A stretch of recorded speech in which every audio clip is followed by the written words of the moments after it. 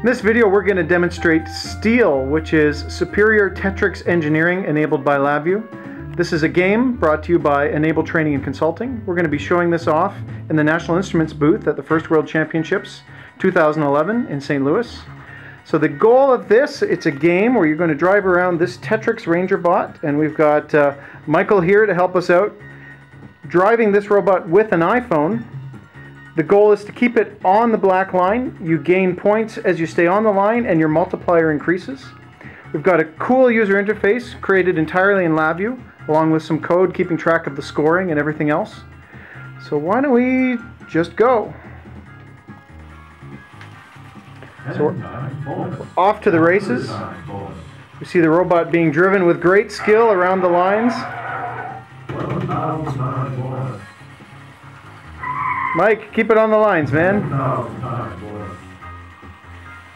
You can see lots of live feedback on the computer screen, including accelerometer information from the iPhone, scoring and multiplier.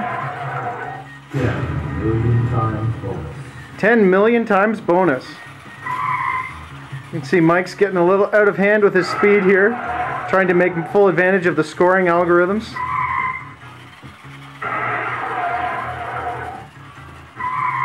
It's a great demonstration of how LabVIEW can be used to make cool interfaces really easily.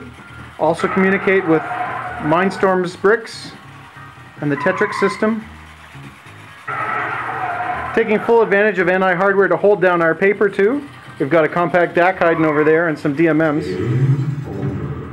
Game over, Mike. Did you get a high score?